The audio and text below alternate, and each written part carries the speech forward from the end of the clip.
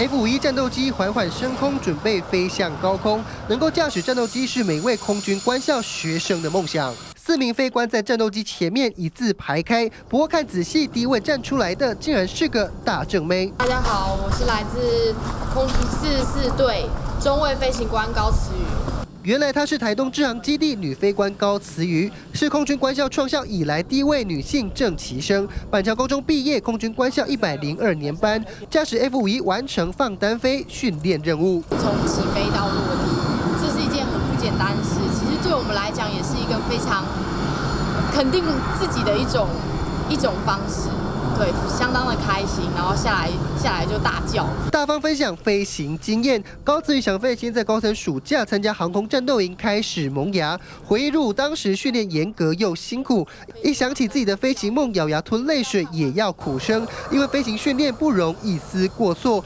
高子宇经过不让须眉，终于圆梦。这名女生除了有美丽脸庞，还能勇敢坚强，捍卫我们的国家。记者徐璐专做台东采访报道。